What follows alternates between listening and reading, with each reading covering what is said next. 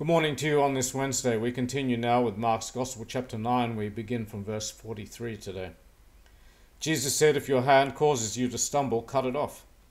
It is better for you to enter life crippled than having your two hands to go into hell, into the unquenchable fire, where their worm does not die and the fire is not quenched.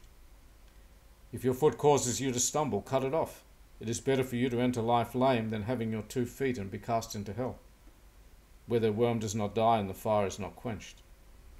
If your eye causes you to stumble, throw it out.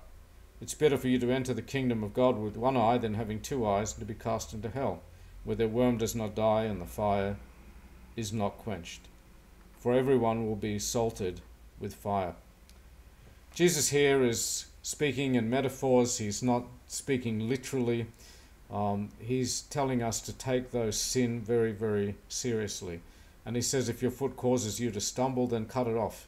Or if your arm causes you to stumble, to sin, then cut it off. Or if your eye causes you to sin, then pluck it out.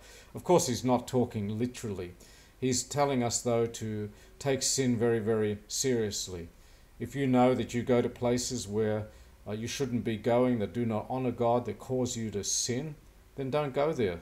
Be as if you've cut off your legs and you can't go there anymore. Or if your hand is causing you to pick up things and take things and do things that you shouldn't do, then Jesus said, consider it chopped off that you can't use it anymore. Or if your eye is looking at things that are unclean and things that are not pleasing and honoring to God, then consider it plucked out that you can't see any more. Understand the, the seriousness of sin. Some people take grace very cheaply. They think, well, you know, I'm saved, I, I'll be forgiven, I can do whatever I like, and then I'll ask God to forgive me. That's cheapening grace. Good Friday reminds us that Jesus had to go through hell so that we would never experience it. Jesus took our sin upon himself. Sin is a horrible thing. We should make it our attitude to try not to sin. We don't always succeed, but we don't purposely go out and sin. We know that if we do sin that he forgives us. But we take it very, very seriously.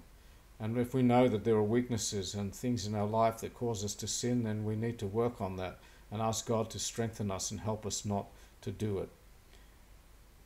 Everything is tested uh, by fire. We need to honor God. It cost Him so much to save us. And we should be living a life that brings glory and honor to Him. And if there are things in our life that cause us to stumble, then we need to do something about it and take it very, very seriously. Lord God, Heavenly Father, we thank you and praise and bless you on this new day. We thank you that you are continually teaching us. Help us to understand your word. Help us not to be only hearers, but to be doers of your word. Help us, Lord, to rightly divide the truth. We thank you that you are always teaching us, shaping us, molding us. Lord, I know that you love us so very much that you died on the cross. You shed your blood so that our sins could be forgiven, so that we would not have to experience hell. You went through hell so that we would not have to. We thank, praise, worship, and bless you for that. Today, you, we come to you, we offer ourselves to you as a living sacrifice, holy and acceptable to you. This is our reasonable service of worship. We pray that you help us not to be conformed to this world, but to be renewed in our minds to know what is the perfect good will of God. Heavenly Father, we pray for our government, we pray for all in authority. We pray that you give them wisdom and understanding, help them to understand the times we live in and to make good and right decisions in all things. We live in a society that's becoming more and more godless. Lord, we pray, have mercy. We pray, Lord God, Heavenly Father, have mercy on the Ukraine. We pray for those who are suffering so much. We ask, Lord, for an end to this suffering. We hear the rattlings and rumors of wars in other places, and we pray, Lord, have mercy. We realize that all of these are signs that your coming is near. So may we be awake and prepared and ready for when the time comes. Lord God, Heavenly Father, we pray for those souls that don't know you yet. We ask that today would be the day that many hearts open to you. We lift up before you the orphan, we lift up before you the poor, the sick, the widow, the dying. We pray, Lord, that you wrap your arms around them and strengthen them. We pray for our brothers and sisters who are persecuted for the faith. We pray that they would stand strong and forgive those that persecute them, for they know not what they do. Lord God, Heavenly Father, you know all of our needs and you meet our needs, and we thank you so much.